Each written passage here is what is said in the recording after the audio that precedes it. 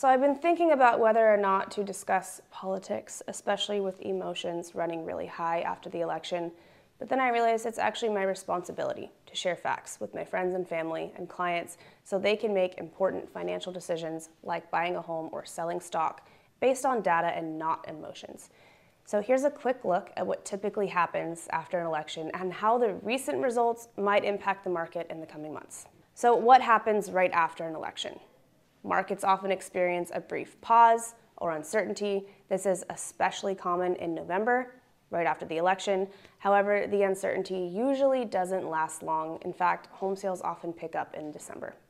Next is market fluctuations. Yes, there's going to be short term ups and downs, but the real estate market is influenced by many factors beyond politics. Things like local market conditions, the economy, demographic trends also play a really big role. Long-term trends usually continue regardless of short-term political changes. Next is home prices during election years. Over the past 40 years, home prices have increased an average of 4.8% during election years. And in seven out of the last eight presidential elections, home prices rose the following year.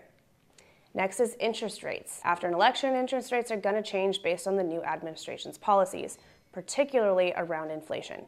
If interest rates go down, we might see more real estate activity and more people could refinance or buy homes. Next is economic policies and real estate. Economic policies like deregulation or tax cuts can boost economic growth, meaning more money for people to spend, which could increase demand for homes like we saw after the Tax Cuts and Jobs Act in 2017.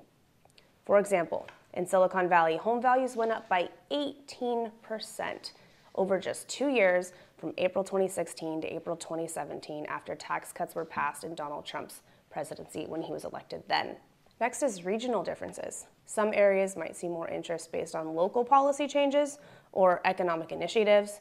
Changes in taxes or support for certain industries could make some places more attractive than others. And with Proposition 33 not passing, we might see continued rent increases and more investor activity. My advice don't make decisions based only on election results. Focus on your personal financial situation and your long term goals. Stay informed about what's happening in your local market and any policy changes that could affect real estate.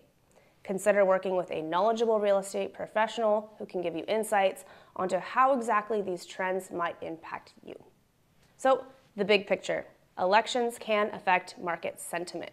But things like supply and demand, economic conditions, and local trends have a much bigger impact on the real estate market over time. As always, I'm here to help you navigate these changes and make sure that you're making informed decisions no matter what is going on in the world.